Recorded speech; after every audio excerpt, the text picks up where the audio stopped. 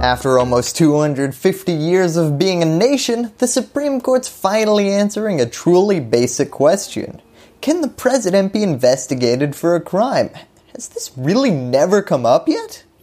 At last, political philosophers will have an answer to the age-old question. If the president shoots someone on 5th Avenue and everyone is around to see it, is it still a crime?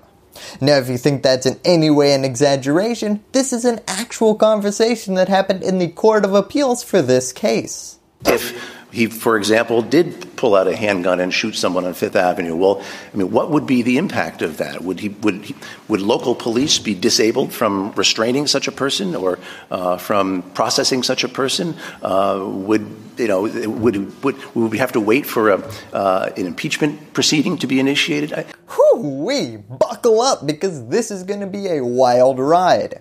It turns out Trump's getting the old Al Capone treatment because this entire fight comes down to the Manhattan District Attorney subpoenaing 8 years of Trump's personal and business tax returns in a criminal investigation. So this is an investigation into which of Trump's crimes? Well brace yourself for a real throwback Thursday. The investigation by Mr. Vance has focused on $130,000 that Mr. Cohen paid Stormy Daniels just before the election. Back to this? Yeah, this might be the dumbest groundbreaking Supreme Court case on the books. Now there's been a long history of investigating the president without investigating the president, including earlier in this very investigation. The memo says, as Cohen himself has now admitted with respect to both payments, he acted in coordination with and at the direction of individual one, referring to Donald Trump. In other words, the president committed a crime. Whoa, whoa, whoa, no, the president didn't commit a crime. Individual one committed a crime. Prosecutors probably could have kept this charade going, except that it's kinda hard to subpoena individual one's tax returns without naming the guy. Now one thing that I need to emphasize before we get too deep into the legal minutia is that all of this is wrapped around investigating the private citizen who now happens to be president. If this was criminal acts relating to Trump's official duties in office, well then this would be a different and much longer episode. So can a president be investigated for a criminal offense he did privately while in office? Drum roll for the future of our democracy. Yes! Let's get to the decision to figure out why. The specific question the court had to answer was whether this tax subpoena violates Article 2 in the Supremacy Clause of the United States Constitution. Now for the purposes of today's discussion, the Supremacy Clause prohibits state and local officials from using their powers to defeat the legitimate operations of the national government. Now, it's not hard to imagine how opening up the ability for states to launch criminal investigations of the president could open the floodgates for non-stop criminal investigations designed to waste a bunch of time or stigmatize the president. Ladies and gentlemen, we have credible evidence that Donald Trump jaywalked while visiting California. We're having the Attorney General launch a full investigation.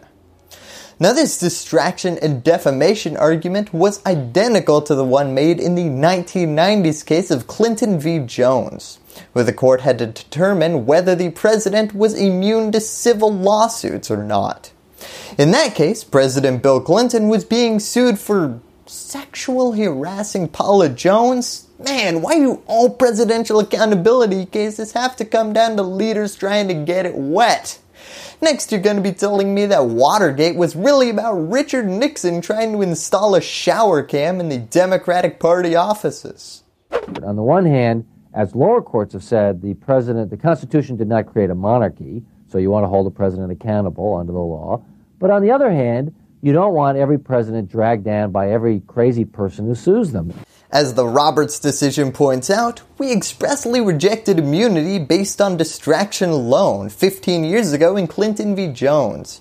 Just as a properly managed civil suit is generally unlikely to occupy any substantial amount of a president's time or attention, two centuries of experience confirm that a properly tailored criminal subpoena will not normally hamper the performance of the president's constitutional duties. Now the logic here is basically yeah, you're gonna be investigated. That's gonna occupy a lot of time for the guy investigating you. But beyond responding to a subpoena, you can just kind of keep doing your job. I mean, the only reason an investigation would take up your time is if you're trying to obstruct it. Now, this isn't to say that the president does not have the right to challenge a subpoena they find egregious. A president may avail himself of the same protections available to every other citizen, including the right to challenge the subpoena on any grounds permitted by state law, which usually include bad faith and undue burden or breath. Problem is, Trump wasn't challenging this particular subpoena's egregiousness, but rather he was doing the most Trumpian move out there and just swinging for the fences.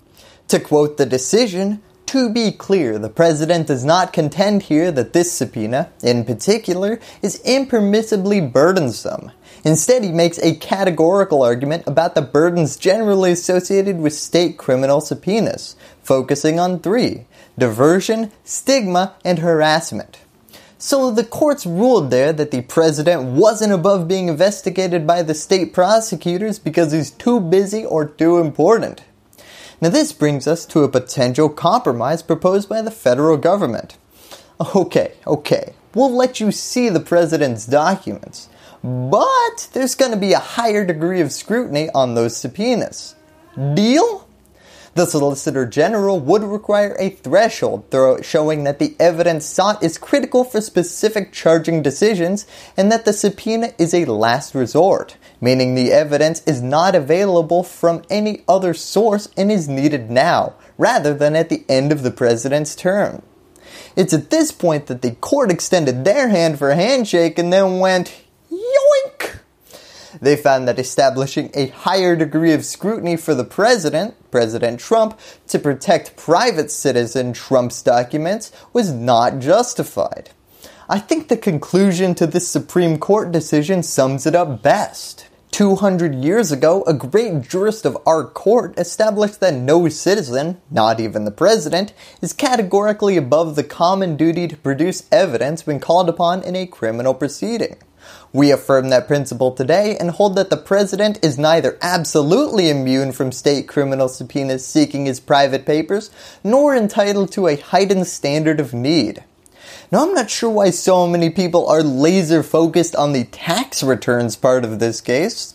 I mean focusing on the tax returns in this monumental case is like panicking that the bullet you've been shot with contains lead. Lead poisoning can really slow cognitive functions there are bigger issues being decided here. At the end of the day, the president is now officially not above state criminal investigations for unofficial acts and needs to be treated like any other private citizen. Thank you and that's all I have to say about that. Hello YouTube! First I'd like to thank my patrons for helping me put out my videos. If you want to support independent, nonpartisan news looking into the Supreme Court, join this growing list of exceptional individuals by clicking on that link in the description. Click here for a playlist of my other Supreme Court coverage, and remember to subscribe and ring that bell so that freedom will continue to ring. Lastly, as always, thank you for watching.